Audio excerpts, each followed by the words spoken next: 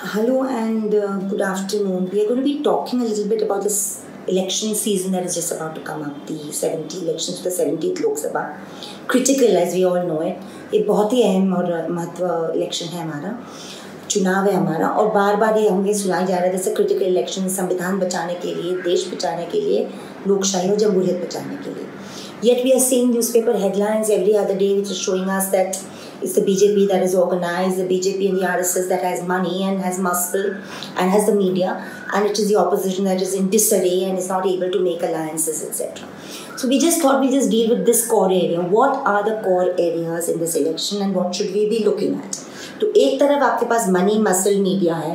the money large look at the electoral bonds issue, no transparency in election funding, large amounts of money seem to be with the BJP. Muscle misuse of state power with the RSS BJP. And unfortunately, large sections of the electronic media, the corporate private channels also seem to be going veering towards not an objective coverage but with the ruling regime. तो ये तीन चीज़ें अगर सरकार के पास है RSS और बीजेपी के पास है तो मुद्दे इलेक्शन में एक्चुअली क्या है जिससे विपक्ष लड़ सकता है तो of course is the whole issue of alliances and opposition unity in some cases they can be pre poll alliances in some case they can be post poll alliances but एक one particular tweet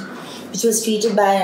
citizen of the country really struck me बहुत अहम एक social uh, media पर एक comment uh, आया था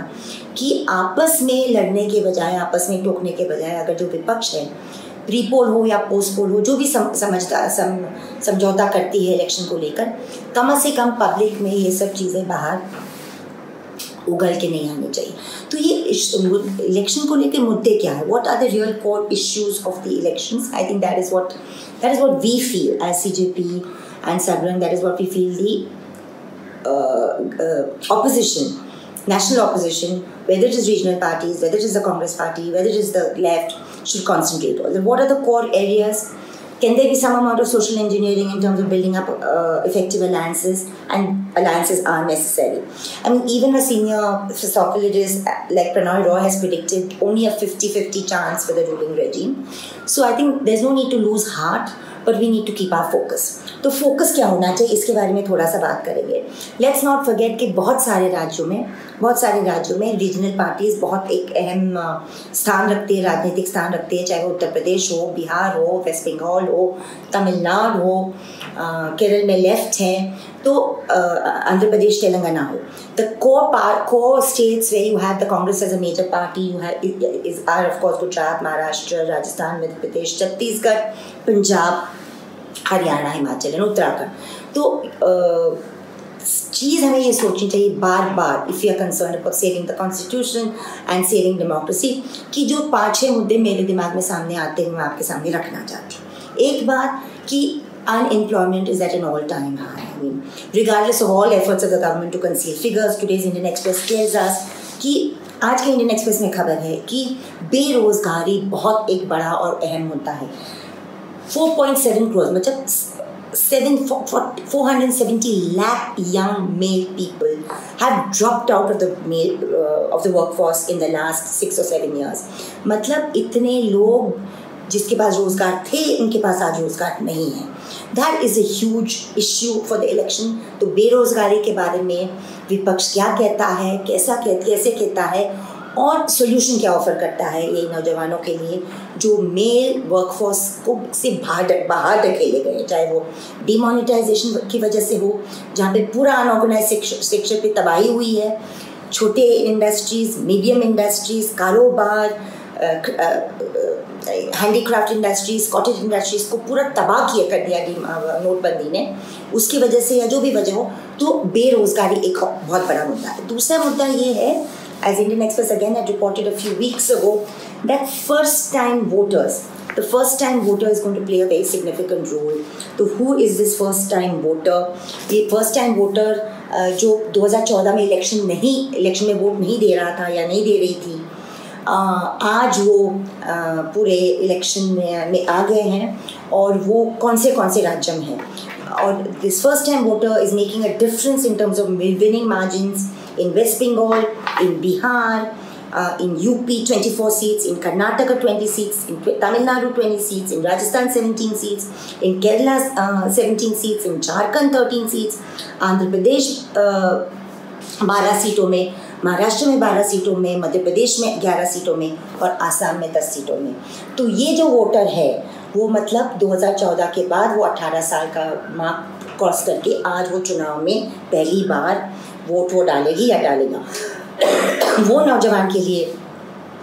आ, क्या मुद्दे हैं? क्या मुद्दे हो सकते हैं? शिक्षण के मुद्दे हो सकते हैं हायर एजुकेशन के मुद्दे हो सकते हैं। क्या जो पच्चीस हज़ार पर साल जो यूजीसी ने स्कॉलरशिप बंद कर दी है वो एक मुद्दा हो सकता है? हायर एजुकेशन की परिस्थिति जो देश में है that can be a real issue so these basically the opposition needs to fight with a cool head and a cool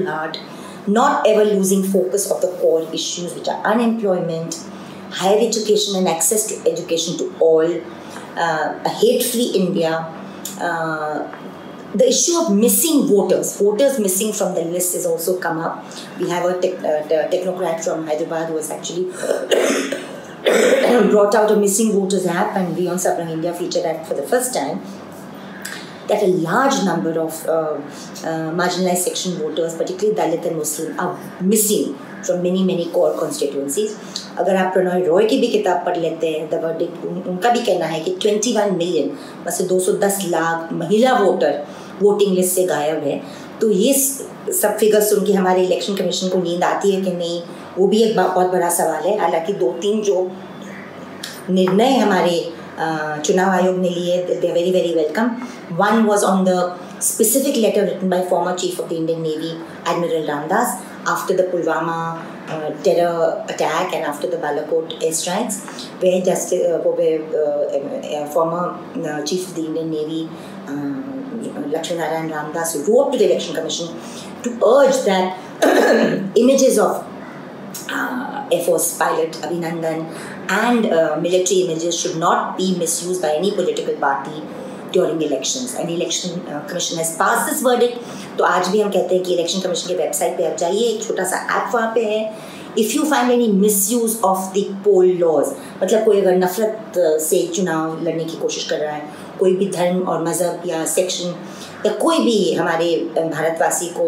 नफ़रत की ज़बानों से वो डेनिग्रेट करना चाह रहा है या कचा रही है कोई कैंडिडेट या उनके एजेंट, या कोई हमारे फौजों को, हमारे शहीदों को कहानी या तस्वीरों से इलेक्शन को अपनी तरफ़ घुमाने चाह रही तो आप इलेक्शन कमीशन में ज़रूर आपका अपने, आपका आपकी कंप्लेंट डाल सकते हैं। another very important area for us in uh, in uh, Citizens for Justice and Peace is the Forest Rights Act 2006. और ये बहुत एक uh, अहम चीज़ हमने uh, साथ में मिलकर हमारे साथी है बैंगलोर में एक रिसर्च ग्रुप उन्होंने ये आंकड़े निकाले हैं कि out of the 543 seats in parliament in 133 seats the forest rights act and the implementation of the Forest Rights Act could play a key role. Now this is very very important ये बहुत ही अहम चीज़ है, क्योंकि ये 133 सीटें जो हैं, वो अलग अलग राज्यों में हैं और ये 133 सीटों में से अड़सठ जो सीट हैं 68 seats